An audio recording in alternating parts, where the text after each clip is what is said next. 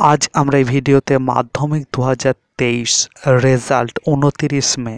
কেন আমি উনতিরিশ মে রেজাল্ট বললাম? পর্ষদ সভাপতি কি বলেছে? তো পুরো একদম তোমাদেরকে কিন্তু আমি এই সময় পেপার থেকে একদম পুরো লাইন ধরে ধরে পুরো বলে দেবো। তো দেখো, প্রথম হচ্ছে দেখো, মাধ্যমিক ফল প্রকাশের কাজ অফলাইনেই অফলাইনের সঙ্গে কিন্তু অনলাইনেও হচ্ছে। তো এটা কিন্তু আমাদের একদম পুরো দেখো এই সময় পেপার থেকে পুরো হেডিংটা তোমাদেরকে তুলে দিলাম। এখানে লেখাগুলো ছোট ছোট করে ছবি তুলে নিয়েছি, সেখান থেকে তোমাদেরকে একদম পুরো ধরে ধরে বলব।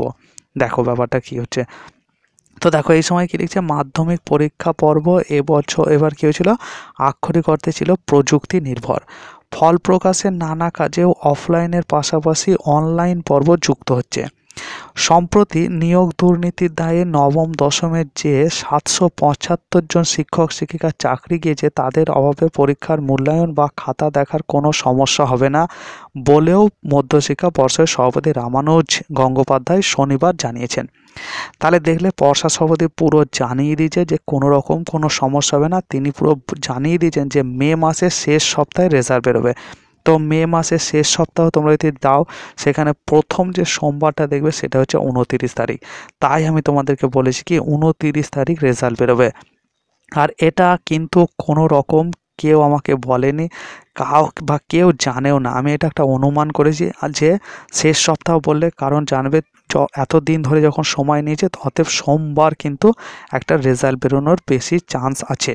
দেখো তারপরে তারপরে যেটা তোমরা দেখতে পাচ্ছি যে এখানে যে পুরোটা বিস্তারিতভাবে লিখেছে, তো কি লিখেছে যে পরীক্ষার সঙ্গে যোগাযোগ, কাজকর্মে যে নিয়েছিল কুড়ি দিন সময় লাগে, সংশোধনের প্রয়োজন, এবার খাতা কীভাবে পাঠাতে হয়, কতটুকু পাঠাতে হয়, তারপর দেখো ষোলোই ফেব্রুয়ারি থেকে চার মার্চ পর্যন্ত যে দৈনিক সতেরোটি ফোন এসেছে, নানা প্রশ্নের উত্তর চেয়ে।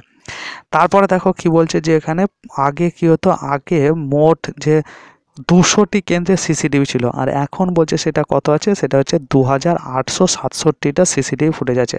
অতএব এইবার বলছে যে পরীক্ষা সেইভাবে কোনো রকম পরীক্ষা, কোনো কিছু অসুবিধা হয়নি। তো তোমরা কিন্তু মানে রেজাল্ট বেরোতেও তোমাদের কোনো রকম কোনো অসুবিধা হবে না। আর শিক্ষকদের চাকরি গেল যে সাতশো বা নশো জনের চাকরি দেয় তাতে তোমাদের কিচ্ছু যায় আসে না।